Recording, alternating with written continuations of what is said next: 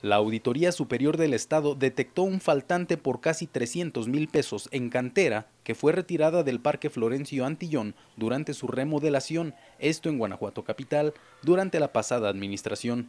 Esto dio a conocer la diputada presidente de la Comisión de Hacienda y Fiscalización del Congreso del Estado, Guadalupe Velázquez Díaz que a la hora de levantar la cantera, no toda la cantera llegó a la bodega de resguardo y bueno, eh, ahí hay una responsabilidad sobre los funcionarios que estuvieron al frente de esta obra. Aquí el municipio ya se adelantó, esta administración ya interpuso sus denuncias penales eh, con, este, con este hecho.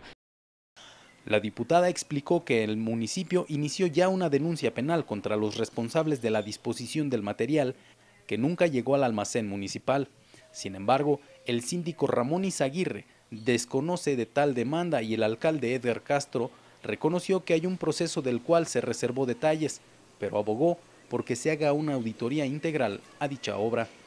Como Comisión de Hacienda no ubicamos un procedimiento iniciado en esta administración. Pudiera ser que estas observaciones a las que se refiere la diputada hayan sido turnadas a finales de la administración pasada y se hayan iniciado los procedimientos correspondientes. Aquello que ahorita está en trámite en este tema o en cualquier otro de los temas, pues se tiene que seguir hasta sus últimas consecuencias. Lo más conveniente es entrar de, de lleno también la administración tenemos que eh, también indagar, investigar y que se aclare. Eh, todas y cada una de las situaciones que se llevaron a cabo dentro de este parque.